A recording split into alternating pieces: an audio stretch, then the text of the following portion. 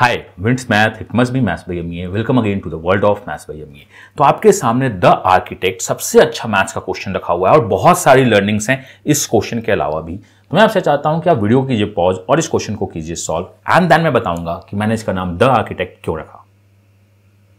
तो I hope आपने video pause किया होगा क्वेश्चन को सॉल्व किया होगा। तो हम डिस्कस कर रहे हैं संविधान। मतलब अगर मैं एक्चुअल कॉन्स्टिट्यूशन की बात करूँ तो द आर्किटेक्ट का मतलब कौन है? कॉन्स्टिट्यूशन के एक्चुअल द चीफ आर्किटेक्ट कौन है? किसे कहा जाता है? तुम्हें पता है या सबको पता है, उन्हें बोला जाता है बी आर अंबेडकर उन्होंने ही सब कुछ न्यू रखा था, सब कुछ को काम को बढ़ाया था। तो जब भी कॉन्स्टिट्यूशन की बात होती है तो बाबा साहब भीमराव अंबेडकर की बात होती है। जब भी मैथ्स की बात होती है तो रामानुजन की बात होती है।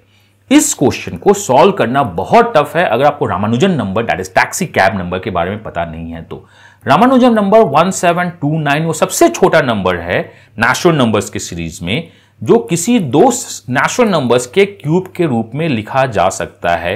ये मुझे पता है और ये सबको पता है। अगर आपको ये नहीं पता है तो क्वेश्चन को सॉल्व करना बहुत टफ होगा।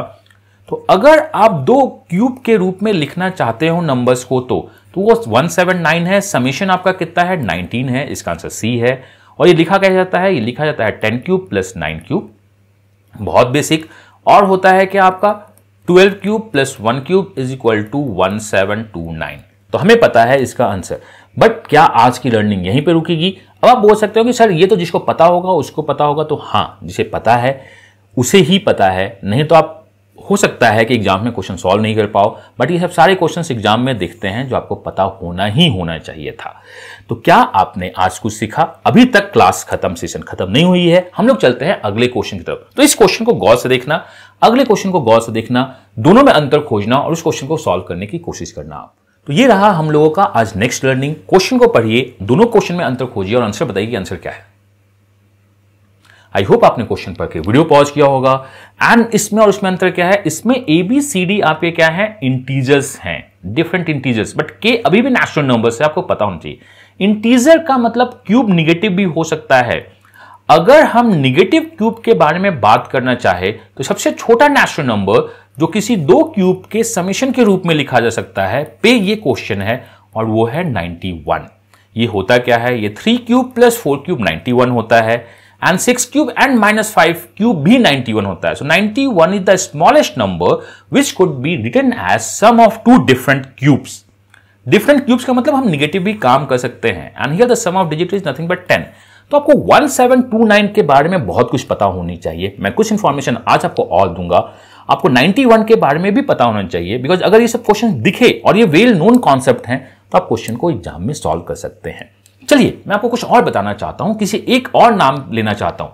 बिकॉज़ आपने रामानुजन तो सुन लिया, एक और नाम मैं आपसे चाहता हूँ कि आपने उनको सुना है।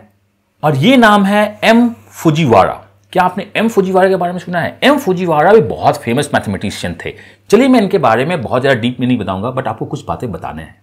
एम फुजीवाड़ा ने यह फाइंड किया था कि पूरी मैथमेटिकल इनवर्स में अभी तक जितने भी नंबर्स हैं, ऐसे चार ही नंबर्स हैं जिसमें स्पेशल कैरेक्टरिस्टिक्स होता है। वो स्पेशल क्या है? अगर आप सम ऑफ़ डिजिट्स के डिजिट को उल्टा कर दीजिए, बेचारा अकेले नंबर है और मल्टीप्लाई कर दिए तो नंबर्स आते हैं। नहीं समझ में आया? सम ऑफ़ डिजिट्स कितने हैं? सम ऑफ़ डिजिट्स नाइन है। अकेला नंबर है, मैं इसको आगे पीछे लिख दू नाइन ही होगा तो एटी वन दिखता है। अगर सम ऑफ़ डिजिट्स को रिवर्स करके मैं मल्टीप्लाई कर दूँ तो नंबर मिलता है। जैसे आप इसको ऐड करो, ये कितना हो गया? फाइव फाइव में अगर फाइव ऐड करो टेन तो ये सम ऑफ़ डिजिट कितना है? Eighteen eighteen into eighty one digit को अगर आप रिवर्स कर दो तो ये आपको वन फोर फाइव एट देते हैं। बहुत इंपॉर्टेंट नंबर्स हैं। आपसे क्वेश्चन पूछा जा सकता है sum of digits and the reverse of sum of digits is the number तो कितने नंबर पॉसिबल हैं? चार नंबर पॉसिबल हैं। One seven two nine is also the same number add करो आप। This one is 19 and 91 this one is 1729 तो 1729 के दो स्पेशल प्रॉपर्टीज़ आपको आज पता चल गए।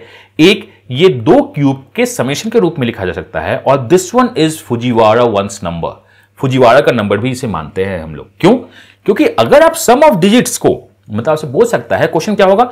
We have sum of digits and the product of sum of digits is the number तो आप नंबर बताइए क्या है? तो आपको ये सारी बातें पता होनी चाहिए एंड आई होप आपने पेन एंड पेपर निकाला होगा।